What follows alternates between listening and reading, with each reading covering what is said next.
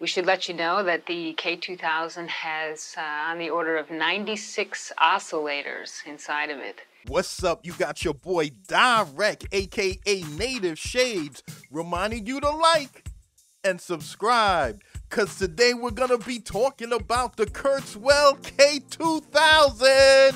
What had happened was.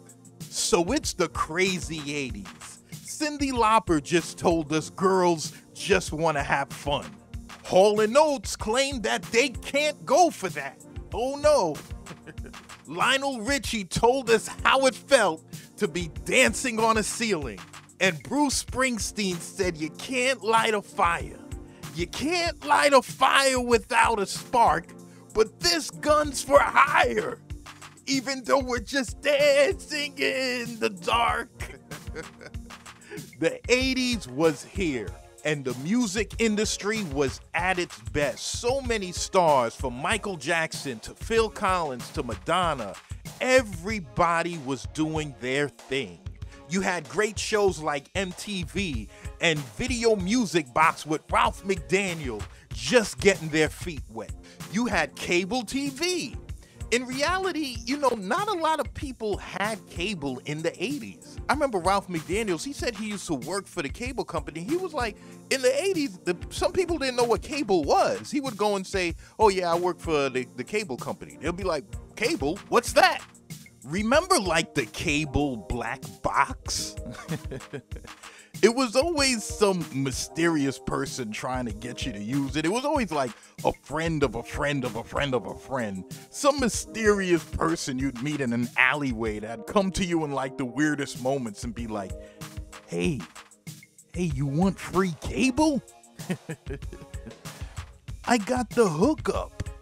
I can get you a black box. You won't have to pay any monthly fees. It's totally free. And you'd be like, okay, uh, I think I'll try it. And they'll be like, yeah, just give me $60. So you give them $60, and later on that afternoon, they drive by your place and drop off the box. And you know, it's always a dusty, dirty box that looks like it's been kicked down a flight of stairs. But you know, you hook it up, and voila, you get free cable. And everything is gravy, everything is sweet for about a week and a half. And then all of a sudden, when you're watching your favorite sports show, zap, everything goes black and you're back on channel two. And you're wondering, uh, what, what, what happened? Did something get disconnected or anything like that? And you call a friend of a friend of a friend of a friend, and they're like, oh no, the cable company, yeah, they zap people that has the illegal boxes. Yeah, it happens and you're thinking, damn, I just lost $60. the 80s was where it was at. And a computer programmer, Ray Kurzweil, decided to step his game up. Now, he was known for creating the trend setting product, which allowed computers to read anything that was scanned and to recite it out loud. So this was great for people that struggled with blindness cuz now they were able to read all kind of books and actually have the words recited to them. So they were joining book clubs, magazine clubs and all kind of things. This was a tremendous advancement as far as computer technology. And in the early 80s, he ran into Stevie Wonder, who used a lot of his products and was like, "Hey man, I really appreciate these products and I think they're fantastic. But one day he had a conversation with Kurzweil and said, hey, how about bringing this technology into the music space? Kurzweil was like, what do you mean? He was like, well, how about creating an instrument where a musician could really take advantage of this kind of technology? Something where a person that was blind would be able to enjoy the instrument and also a person that could see. So Kurzweil was like, okay, let's go for it and they decided to start a company. And in 1984, the result was the Kurzweil K250 keyboard. This machine was amazing. The sounds were sampled, compressed, and converted into digital data. This technique answered all problems. Finally, sample sound sounded realistic. And the keyboard did well. But in 1990, Kurzweil decided to sell his company to a Korean company, Young Chang. No, folks, they're not down with Young Jeezy, Young Thug, and Young MA. Okay? That's not who Young Chang is. He's not the newest member of Young Money. Get that out of your mind. Okay? This is a Korean manufacturing company. and in 1991, that company dropped the Kurzweil K2000. You were getting 24 voices of dynamic allocation, 16 part timbrality, 8 megabytes of waveform ROM, expandable to 24 megabytes. It used the VAST technology, which stands for Variable Architecture Synthesis Technology. A user could use different signal paths which contain different DSP functions, which could be used for shaping and creating sound. This keyboard was velocity sensitive, had aftertouch, up to 128 megabytes of sample RAM, two LFOs, a digital multi-mode programmable filter. This keyboard was the bee's knees. This keyboard answered every synthesis fanatic's prayers. You can literally have one channel with the specific type of synthesis style and combine it with another channel with a totally different type of style. This was amazing. And in 1993, the K2000 stepped up its game even more. Yes, ladies and gentlemen, it added a sampler. What? A sampler? Now this joint could be used like an ASR 10. This was crazy. Musicians all over the world loved the K2000. Musicians were searching for something like this for years. They were searching for something like this forever. It, it's kind of like, you know, like when you call in sick for work and you like search for a doctor's note. you know, you really just didn't want to go to work that day but you know to return you have to bring in a doctor's note. So you start taking a tour around your whole city looking for an open clinic so you can get a doctor's note. And then you finally find one.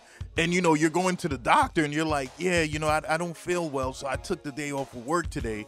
And they're like, oh, you took the day off of work today, huh?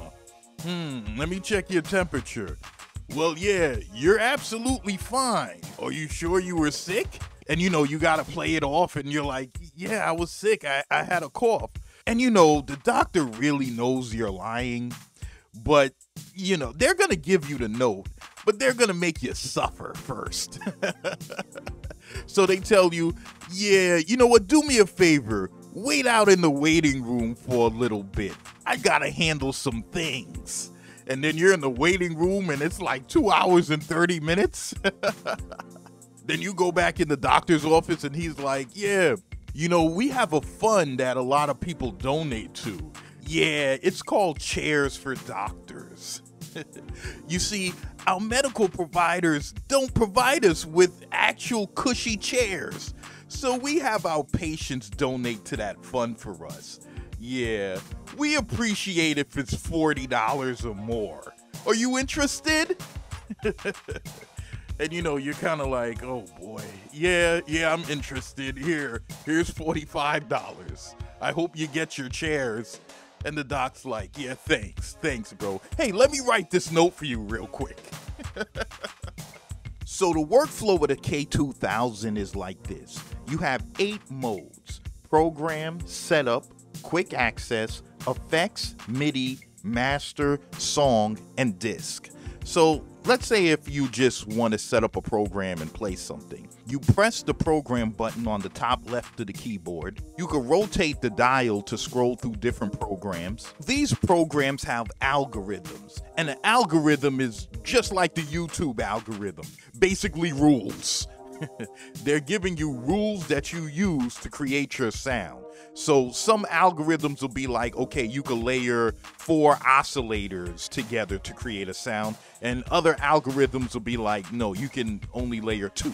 So there are 31 algorithms in this machine. You can enroll different effects, modulations, controls into these algorithm slots and basically shape your sound. Now that's applying the basic functions of a program. Pretty simple, right? Well, some folks didn't think so. you see, with the K2000 and its deep synthesis functionality, on the unit itself, it was a lot of menu diving.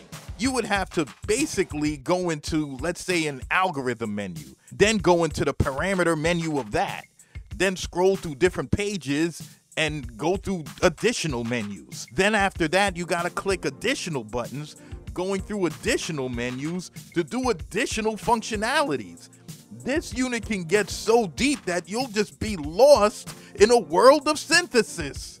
Now, for some people, that's a dream come true, but for others, it might be a little too complicated for them. They might want something just, uh, you know, a lot simpler. Now, don't get me wrong, you don't have to dig all the way deep into all the synthesis functions of this unit. But you know, sometimes if something is there, we want to dig in and investigate. But even with that, a lot of great musicians used and loved this keyboard. Folks like the great Luther Vandross, Pink Floyd, Depeche Mode, Nine Inch Nails, all these folks loved the K2000. The Kurzweil K2000 even had a ping pong video game inside of it.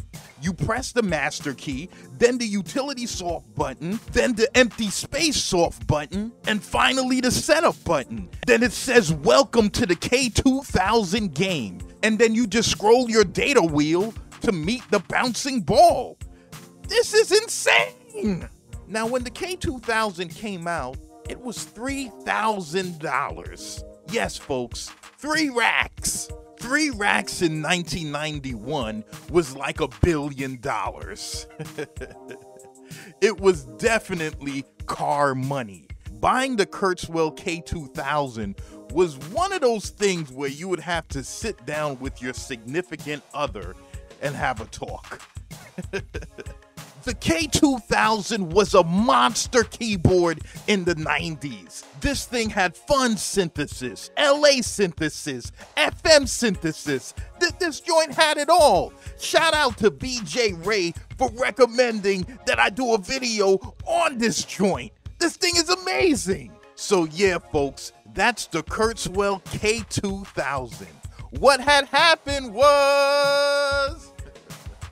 So, this is your boy DyReck, aka Native Shades, reminding you to go down low in the description and pick up that Sound Master sample pack. Where I'm giving you over a hundred curated, unique, awesome sounds for any sampler you're using. And you also get a bonus how to play the keyboard video. Can you believe it? So this is your boy DyReck, aka Native Shades, reminding you to like and subscribe. And I'm signing off.